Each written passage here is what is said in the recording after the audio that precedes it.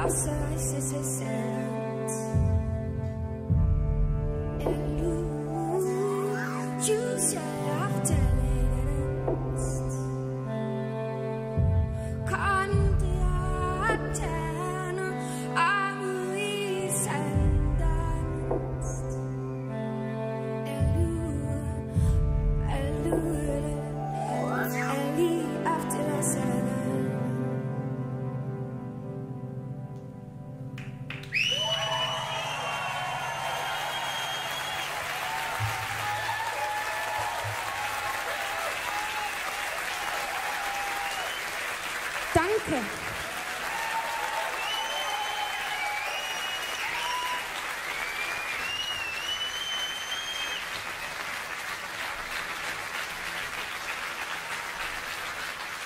look deliriously happy?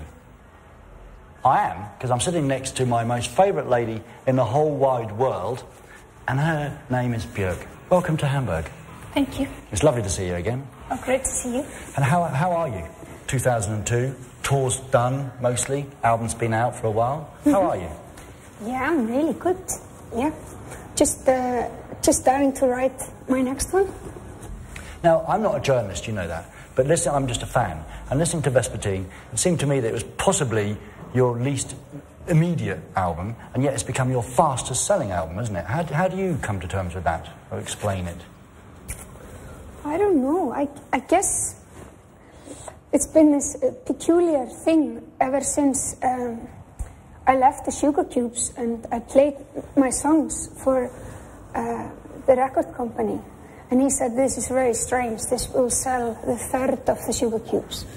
And I said, Well, that, fair enough. I still have to do it, you know. And, and uh, it seems the more um, idiosyncratic or selfish I get, the more people like it or something. I don't know. Maybe there's not even a formula there. No. But um, but uh, I, I guess I just have my own mission and I have to follow it. And if people uh, are still curious and interested, that um, makes me very happy. You know. But you said the Vespertine was really made, unless I'd misunderstood, that it's made for you to listen to at home, because it is an album about home and the inner self, and read a good book while you're listening to the album. But then I thought, I tried it, and it works really well. Yeah. But then doesn't Björk become background music? people like Erik Satie or Claude Debussy um, did music and they aimed to do music that was called in French uh, furniture music. But um, probably doesn't translate very well. The musique de meuble. Something, I'm not sure. French is not my strong point. But it's sort of, they wanted the music to be um, like part of the room Part of the room. that you're in, that you're not, it's not narrative. It's not like a person that's speaking to you. It's someone who's just there and makes you feel good, you know? And then maybe later in the century you had someone like Brian Eno who did, then the music got a, probably a, a title that's more known, which is called ambient music, which is, and, and, um, and I, I guess it's, it's still a debate. Do you want music to be uh, very narrative and very like, hello, listen to me with headphones, notice me? Or if you want it to be just kind of like around you, like a beautiful room that makes you do the things you want to do, you know? And uh, is, is the music the main role or are you the main role? That's, that's sort of the question in a way. And I think, I think for me personally, uh, both have a right to exist. And yet, in, in the media, when we see you most of the time, you don't like to talk about that's personal stuff that I do at home. It's my own personal stuff, which is fair enough. I think we all have that. But on the album, there is a lot of personal stuff. Did the people that you were writing about know that? Did they see themselves in the album? Did they talk to you about it? Yeah, I, the people I, I wrote about, um, I, I would play the songs for them, and, and they are the only ones who know. A person like me that wants, uh, from since I'm a child, I want to, I have this craving to make music. And, and people who are like that, they, it's also a craving to be generous, you know. And then um, you suddenly probably become famous. And then you're generous to the point that you're giving like absolutely everything away from you. And and then i guess you sort of sit back and you think wait a minute um, uh, why have i become stingy? But the real uh, gift i can give as a musician is uh, is sort of an emotional uh, very very intimate thing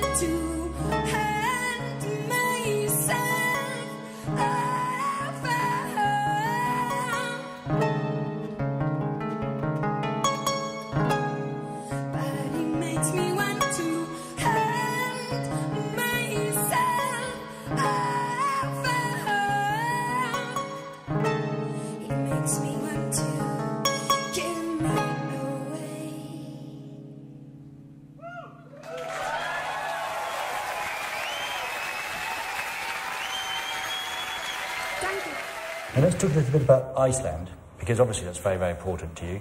Do you think, going back though, do you think that that has very, been very important in your makeup, your musical makeup, to not be, for example, in England or in America or even Germany, bombarded all the time by pop music? I mean, did you grow up with a lot of that modern music, or was there a lot of like Iceland music around? I think uh, my household was probably quite unusual for Iceland because there was always a record on the gramophone. It was it was um, How many people in the house? It was like seven people in the house, grown ups, and I was like the only kid. And um, there would be like I remember like a queue by the record player. Like there would be always a record on, and the, and so I I heard a lot of lot of music as in my childhood. I think probably what's unusual about Iceland is we have this kind of identity that we are far from the rest of the world, which we are, and we are watching it like from some sort of a, a balcony, Lovely. and we just sort of don't like most of it, and then we sort of pick what we like, you know, and so we don't get attached if it's like a form of uh, movement or if it's like a political thing or or. Uh, we, for example, in the punk period, we had no Margaret Thatcher to hate, you know. Iceland has always been like that for a thousand years. Uh, now, the first most of us probably heard about Iceland, apart from at school, was obviously the Sugarcubes because you had massive success in England and in America, all happened very quickly. Do you think that then helped create a, a music scene that people in Iceland would say, hey, we can get guitars and go and be, have, sell records in America? Do you think that helped? I think there are sort of bands that have uh, gotten uh, attention abroad that are from Iceland, like Sugarcubes and me and Sigur Rós. Um, it has definitely helped that uh, none of us um, were aiming to please or, or um, like because there was a lot, a lot of bands I remember when I was a teenager that were sort of trying to be the Icelandic U2 or the Icelandic this or that and and, and, and copying basically what was going on abroad. And then they go abroad to figure out that the abroad didn't want more abroad. They wanted, you know, they had enough for themselves. So the fact that that that um, I, I I can see now. I mean, I hope it's not. I'm not being too big-headed saying that, but I can see in Iceland that, that has had a big effect. The people, like young kids there now that are doing music, they're not trying to imitate this and that. They're, they're, they're um, it's, it's all about having your own voice and, and, and, and being original. Okay, well, this might be a good point to No. have a look at Iceland and have a look at some of your career so far. Okay? yeah. Björk in Iceland and on video. Islande, terre des mythologies, île des elfes et des trolls, où les prodiges de la nature se vivent au quotidien. Mais l'Islande s'est également découvert un prodige vocal, Björk, la sirène qui vient du froid.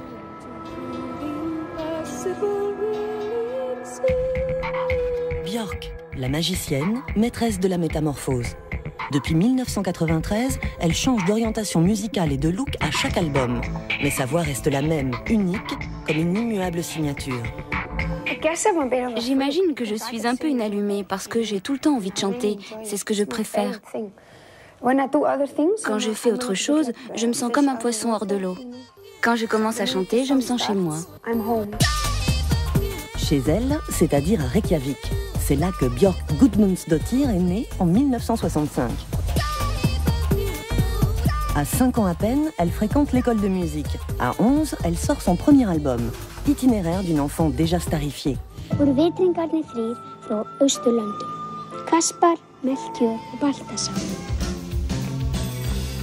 En 1987, avec des amis punk, Björk crée les Sugar Cubes. La pop rock islandaise fait son entrée dans les charts internationaux.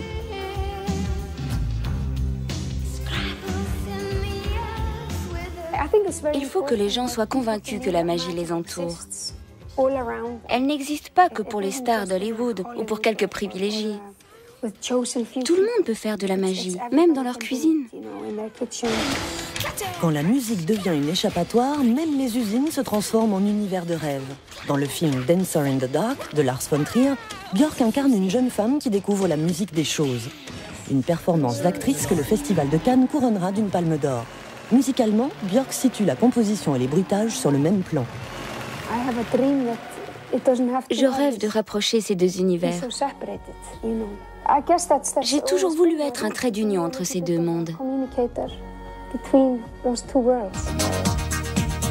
Björk vit dans un monde de techno et de dance, deux éléments qu'elle incorpore à sa musique, aussi spontanément qu'elle y intègre les chœurs des Inuits qui l'ont accompagnée au cours de sa dernière tournée. Björk s'est approprié le secret des elfes. Elle dévoile sa vie intérieure tout en conservant sa propre part de mystère. Rien n'illustre mieux ce paradoxe que Vespertine, son dernier album. Now, your music and your image have changed a lot over the years. Um, It's obviously important for you to keep moving on. And some would say that horrible phrase about reinventing yourself every time. I don't think that. But what is it that drives you to move on? If you found a successful formula as a chef, you're going to sell the same recipe for the rest of your life. When you're a musician and an artist like you are, what is it that drive to bring something new rather than more of the same? Hmm. I think it's just nature. It's it's uh, it's not in nature's nature to stay the same. For example, your hair. You know, you have to Don't talk about my hair. Can you? Oh, I haven't got you have to you have to cut it. no, it grows. It's, it's with normal people. They have hair and then it grows and then it grows and then they cut it or whatever. Yeah. But with people who are in my job, they have hair and then it grows and they've changed their image. You know, Yeah, yeah. and they reinvented themselves. Yeah, I. So I, I think everybody change. Hmm. Yeah, it's, it's a feel good factor, I think. Probably more than courage. Is that, are those your decisions? What you wear and how you show yourself? Do you have people advising you and do you choose things? Or is it you or someone else? Well, I, I, uh, I decide what I wear. Yeah. But I'm, I, I have a lot of friends who are really um, uh, obsessed No, I do- I do, it's not me. with clothes. Um, so so I'm, I'm, I'm surrounded by good people. There's something you take very seriously is the staging uh, of your concerts. How do you come about that? What happens then in your head? How, you have to make the music go to pictures then, I guess. I think with this tour, I wanted the music to play the main role. You know, there was a, a, a moment, I think we all thought, wait a minute, we're in opera houses. These are the sort of stages you can bring in elephants and volcanoes. Why don't, why don't use it It's going to be the only tour you do in opera houses. Go for it, you know. And then, which just looked very exciting and tempting for a little bit. And then, because compared to Homogenic, the tour I did before, I wanted all the importance to go on the music. Mm. And music was the chocolate. And, and you lie in your comfortable chair and, and with, with the orchestra and the, and, and the choir and everything, and almost make a statement that you don't need more. You don't need like you know, incredible, you know, special effects and editing and, and elephants and whatever. Music is enough. Your voice, right? For me, and I'm sure for lots of other people, it's the only voice that I've ever heard that can bring me to tears. Some of your the things you reach, and not with words, with sounds. When did you discover that you couldn't just go human nature? You know, you, you went way out there. How young were you when that happened? I don't know. I guess as a child I sang a lot. You know, I, I was my mom would take me to uh, the bus in the morning, and I would actually be a Julie Andrews. I would, I would actually stand up and walk back and down the bus and want to sing and make everybody happy, you know, and, and which is a bit sick. oh, I like it. Yeah, so so I think from very early on, I, I definitely and and uh, and I've heard I think a lot of singers have that. You know, they they kind of um, like when I was in, I remember going on school trips, and the other kids would ask me if there was a long drive back or something. They would ask me to sing. I mean, you've been composing since the age of 11. Do, is it still done in Iceland, in your little mountain hut and wandering around, or do you write on the tour bus and in airports? And where, where do you write? Hmm. I think uh, part of me is always like a like a machine that uh, never stops. I mean, I, I always uh, have had a song in the back of my head, and and uh, like when I wake up, there's a song there or whatever. Um, I think most of my melodies, though, I, I think like 90% of them, probably more, are all uh, are all written in nature. And as long as I'm in a place where I can sing at the top of my lungs and no one hears me,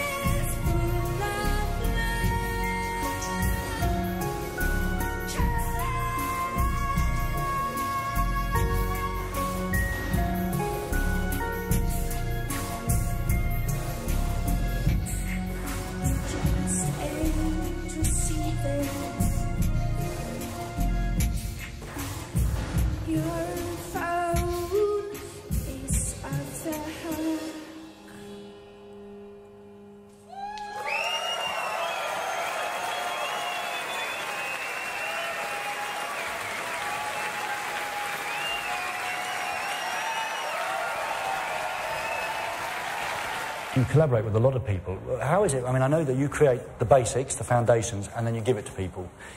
That's almost like giving your baby to someone and saying, now don't give them that to eat and don't do that. How do you let it go?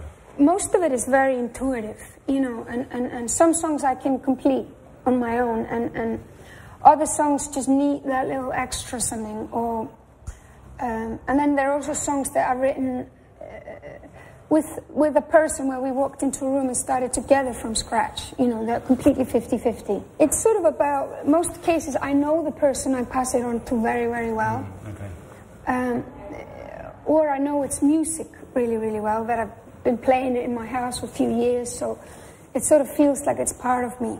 So I kind of know. Is that what happened with those great guys from San Francisco?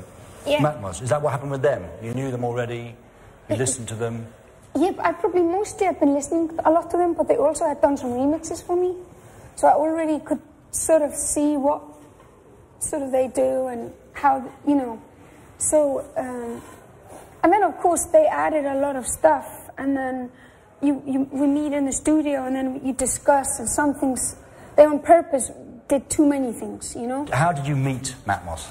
I listened to the music first for a long time before. And they found out about me because I think their CD didn't come out in that many copies. And I'd bought like quite a bit lump of them and given them out to all my mates. Cool. So um, I guess I, I uh, after they did my remix,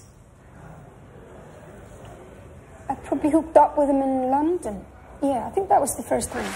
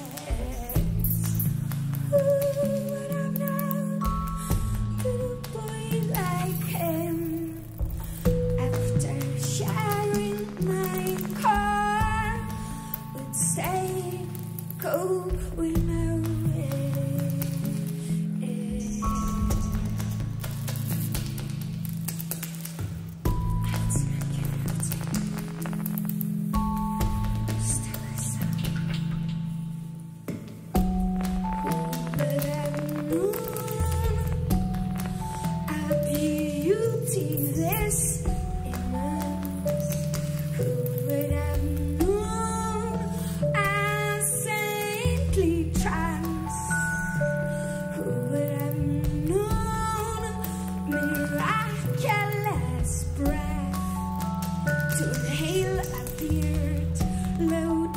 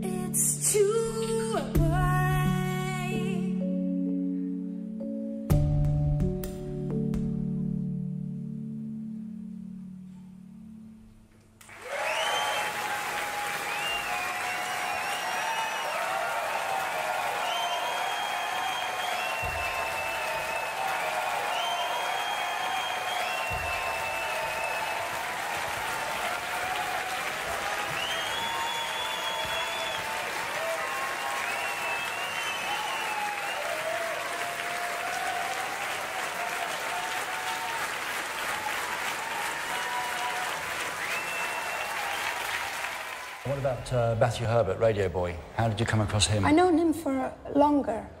I think uh, I would just meet him a lot because he's obviously from England. I'm a lot at venues, like at gigs, clubs, and we would just kind of have similar um, uh, opinions on, on music a lot of the time. So yeah, I think maybe first time I met him in Spain. He came. There was a festival called Bene. I can't remember. Benissimo. No. Benissimo. Sounds, sounds Spanish. Yeah. Benissimo Festival, of course. That's fantastic. I've been there loads That's of times. Italian. And that's Italian. uh, sorry, Sorry, I'm so sorry. I can't remember the name of the festival. doesn't matter. We know. But um, he came there and um, he was playing the same night. And I think we partied pretty hard afterwards. Mark Bell, him, and uh, this Icelandic string octet, and, uh, and a flamenco guitarist who's a gypsy, and his mate. God.